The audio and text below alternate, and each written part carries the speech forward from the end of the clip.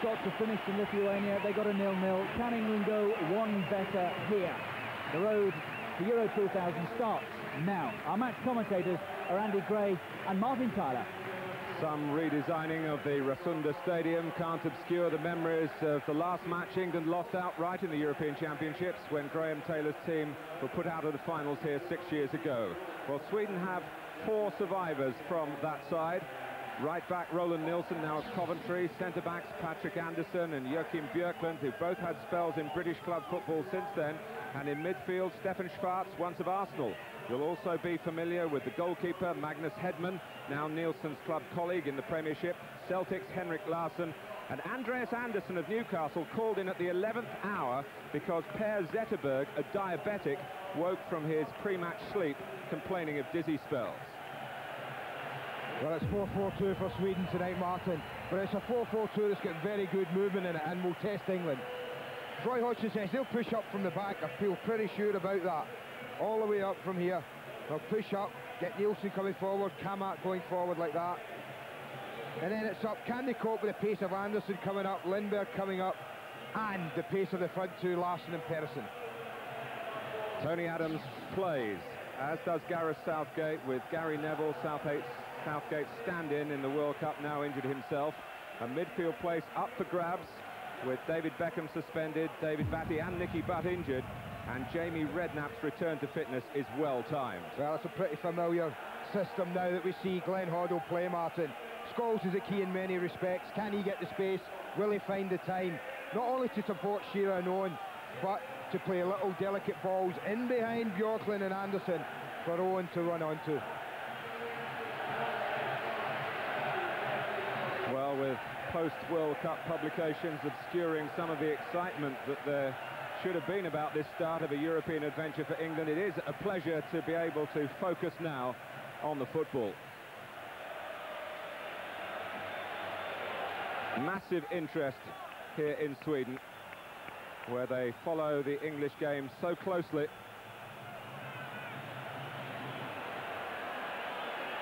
Waiting for the allotted hour is the Italian referee Pier Luigi Collina. A distinctive figure on the world football scene.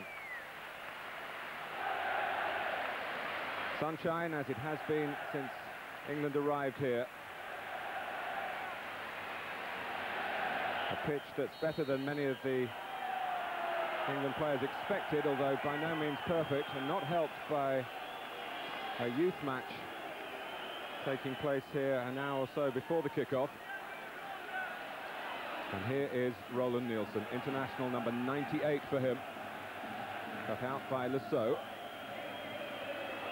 Scholes.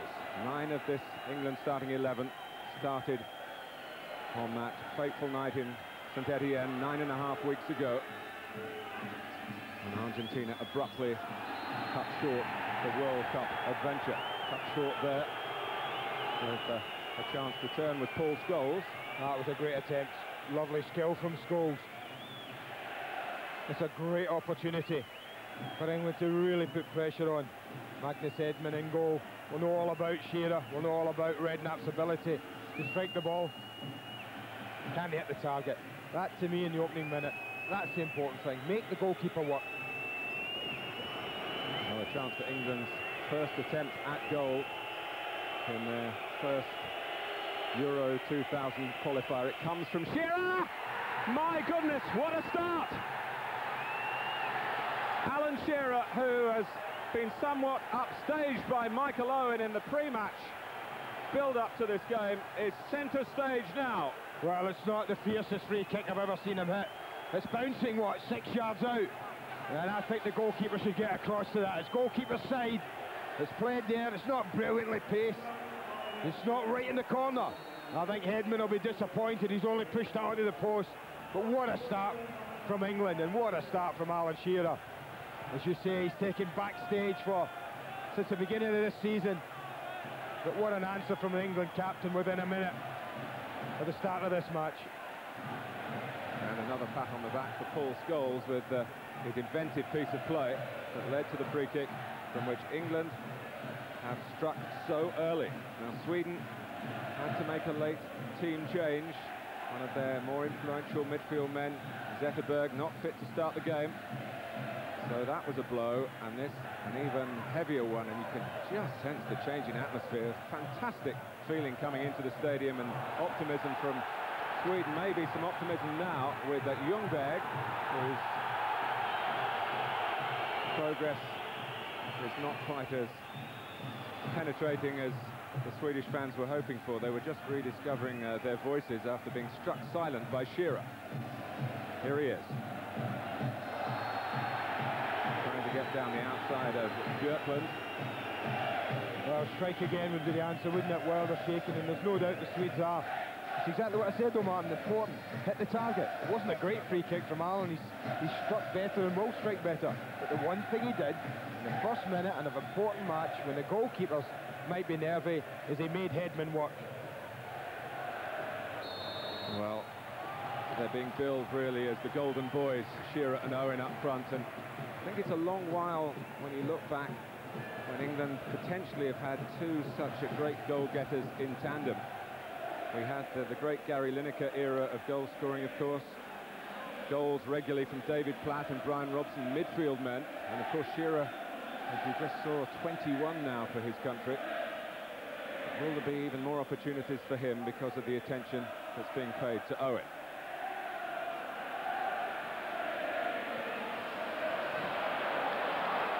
Andreas Andersson working it wide to Leicester's Kåmark.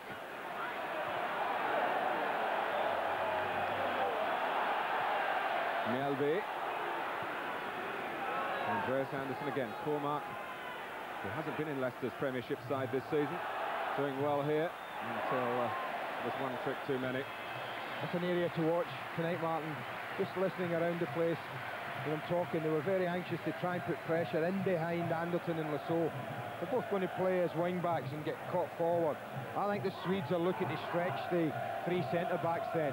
And that means getting the ball in behind Anderton, in behind Le Saux, and then working the centre-backs out, pulling them out of position. And that's probably why I think that Henrik Larsson, as opposed to Andreas Andersson, was picked to play right up top for his movement. Well, the Celtic fans, of course, would expect him to play forward, Mm. but he has been playing very effectively since uh, Tommy Söderberg took over as manager. His Shearer doing well to keep that in.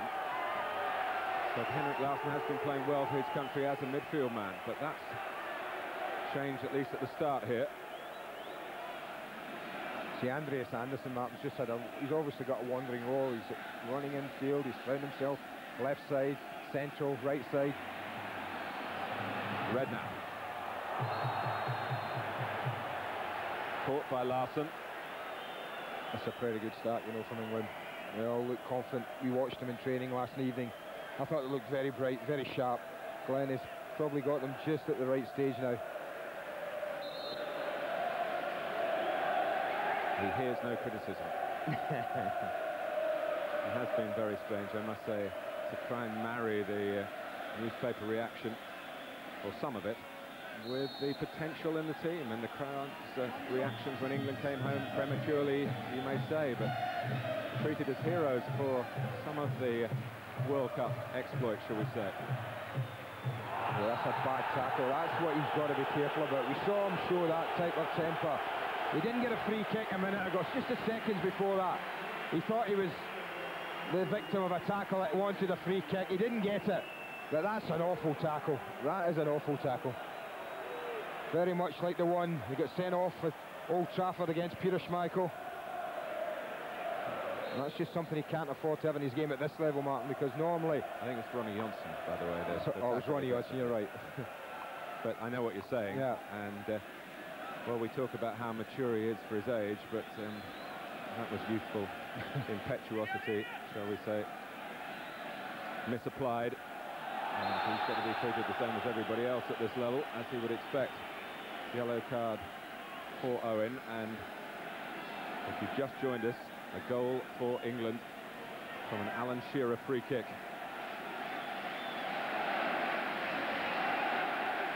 Stefan Schwarz, who had a season with Arsenal, to take this free kick. And a strong defensive header from Sol Campbell.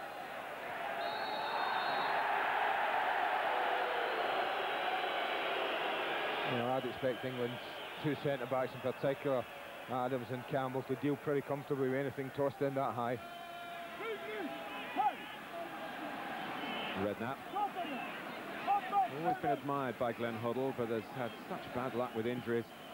Often when playing for England, and he hasn't played too often, his ninth cap tonight. Look at Sol Campbell go here with the confidence born of a, a splendid World Cup campaign personally. Le Saux's cross. Confusion at the back for Sweden with the goalkeeper coming and not really calling, it seemed, to take total charge. And the outcome is an England corner and Sol Campbell really responsible for that England sortie forward. Uh, he looked shaky, Hedman in goal. That was a cross. He should have came, made it known he was coming and taking care of it.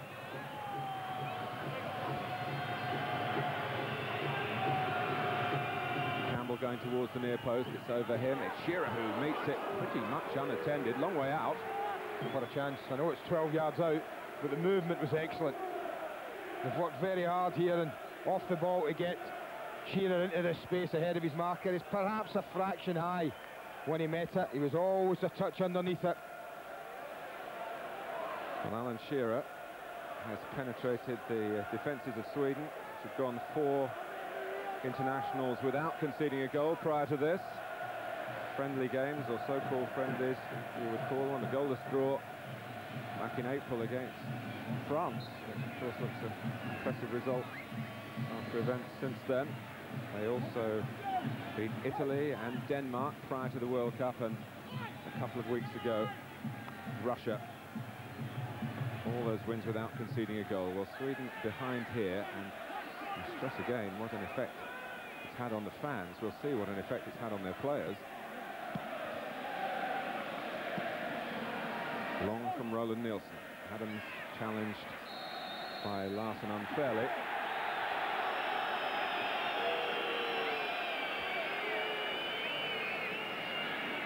Clever Tony Adams. He, he, wins, you watch him, he wins so many free kicks, you know, when centre forward strikers put themselves up against him.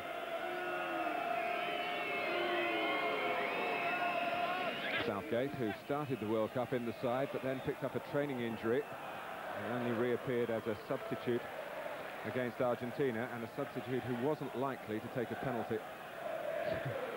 Wonder why.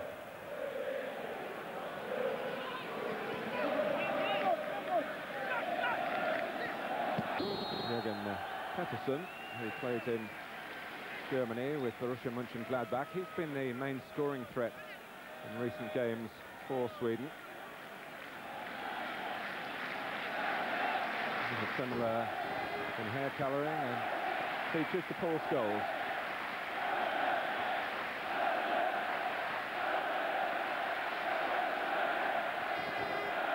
Patrik Andersson, who played with uh, Graeme Le Saux and Alan Shearer at Blackburn.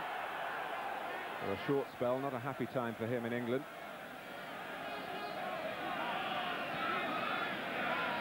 Björklund, who left Rangers in the summer to play in Spain. Adams might have been the uh, guilty party that time. The battle rejoined against Henrik Larsson.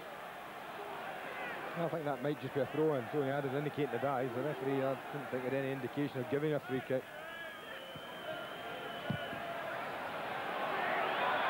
it needs to be better than that. David Seaman will take them all day. And he's used it well to Saux, who missed playing in Chelsea's final in the Cup Winners' Cup on this ground back in May, but did get a, a medal. Anderton. Another England corner. Lovely play again, great crossfield pass from Scholes. And Darren Anderton just, well, Kamark just comes in, dives in. He just waited on him, Anderton, but this is pretty good defending from Bjorklund. Got across really well. Well, the last corner led to an effort goal from Alan Shearer. What can England come up with this time?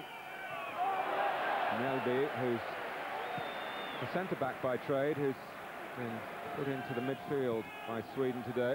Try and stiffen that part of the team.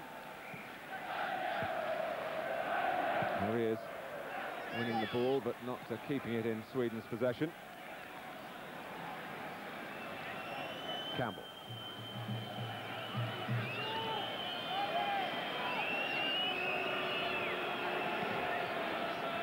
so. Ince.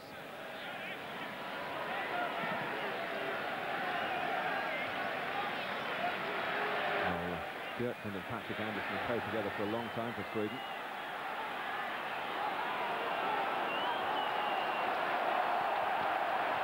Brought out by Ljungberg. Pettersson.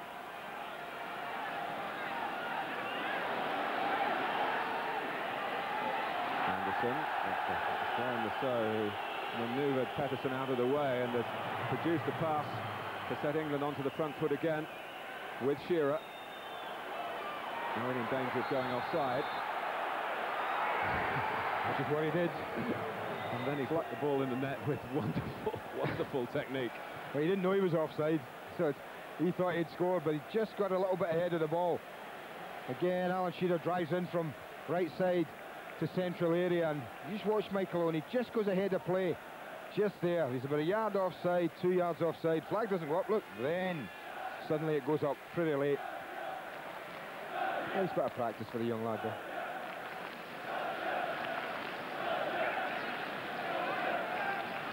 Well it's been mentioned already those extraordinary scenes. Michael Mania at the uh, press hotel where he was brought to meet the Swedish journalists on Thursday night. Shearer was uh, just a spectator to that. Not much interest in the England captain then, but plenty of interest now.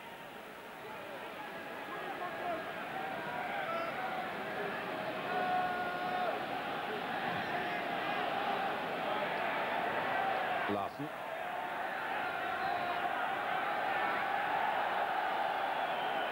Sol Campbell and Darren Anderton, as we understand it, do not know about the events at Tottenham Hotspur today with the departure of Christian Gross.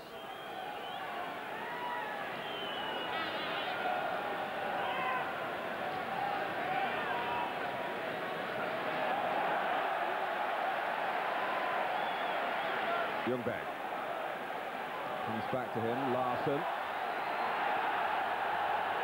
All won fairly enough by Paul Ince, whose style will be known to the Italian referee.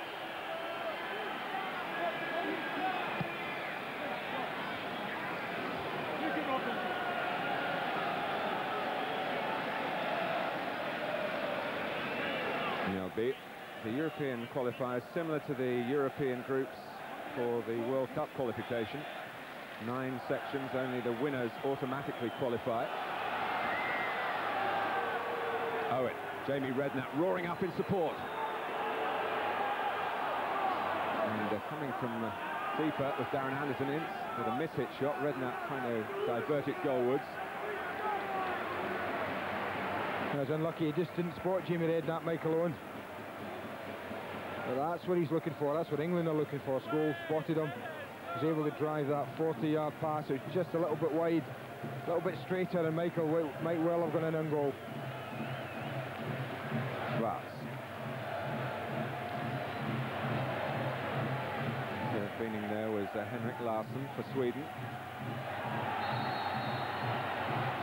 Between the two number eights, but the free kick given against Redknapp for a foul on Mjällby. Ljungberg. Gets it back from Pettersson. Kåmark. Sweden with uh, plenty of players forward here. And England might find some space to break into. Ince having a look to see who's keeping pace with him. Owen is there, Paul Scholes jogging through the centre, Shearer as well, Darren Anderton coming from deeper. Shearer. Rousseau. No one really attacking the cross. Michael Owen had come close to Alan Shearer to try and help if a full feet was required. Had really gambled to run on into the middle for the sort of ball that Shearer supplied. That's a pretty good start. Coming up 20 minutes now. A goal in the opening minute, but since then, no real scares for England. Pretty much controlling the pace of the game. I think we all thought it might be played at a little bit higher tempo. And I think what the goal has done, it's enabled England just to pop the ball around, keep it at the back if they want. Been under no great pressure at the back yet. The back three have pretty much been untroubled. He has to come out here to prevent a corner. Judged in the air by Campbell. That doesn't happen too often, but it was uh, seen as the consequence of unfair contact on him. Yeah, I thought that was a free kick. It wasn't given for that. The offence was against Gareth Southgate. But that was what they were looking at. It certainly was a free kick. Beautifully guided off by Shearer. Anderton's cross. Scholes. Shearer's offside. Great vision from Shearer. You know that little header mark, that was all to do with having a picture in your head. People, very great players, they always know where people are before the ball arrives to them. Shearer knew exactly was in the street. Look, doesn't look, he knows he's there. He's already had a look a few seconds earlier. He had the picture. That was lovely stuff. You can see just a yard offside.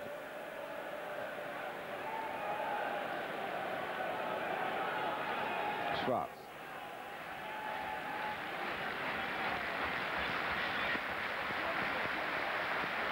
Kåmark, three ahead of him. Pettersson looking the link up with Larsson. Needs someone uh, on the right-hand side. Roland Nilsson, who was only passed fit a couple of days ago. He missed Coventry's last Premiership match with a rib injury. Schwarz showing he can use his right foot as well, and his former club colleague at Highbury, David Seaman, able to snaffle that and try and send uh, Shearer chasing. England's throw. That's good, that's great. It's invaluable when you can do that. It's just a high, hopeful clearance from David Seaman. Shearer puts Kåmark under enough pressure, wins this side a throw-in, 30 yards from their goal. Anderton.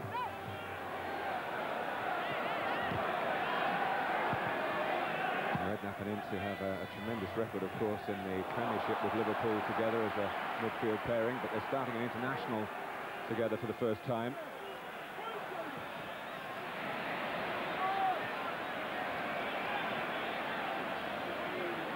Mjällby. Being enough with his presence to force Patrik Andersson to play it back to Hedman.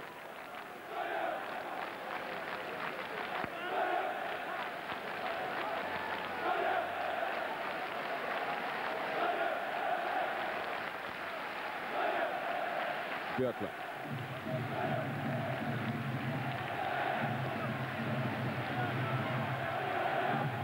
Pettersson and Henrik Larsson just showing one or two signs of uh, linking up.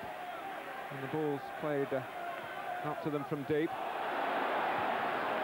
And a bit lucky then. Yeah, feel scared. The movement's been pretty good, Martin, but as I say, I think the back three have been so well protected by what's in front of them as well. I think Ince and Redknapp and Scholes are all doing a pretty good job when they don't have the ball. But Sweden are having to work very, very hard to find any sort of room at all. Ljungberg. Quoted in the uh, Swedish papers over the last couple of days saying he doesn't think too much of English football. Might be revising his opinion after this game, but it's 60 years since England last won in Stockholm, 30 years since any English victory over Sweden, and 20 years since the win anywhere in Scandinavia in a competitive international. So several historical scores to be settled.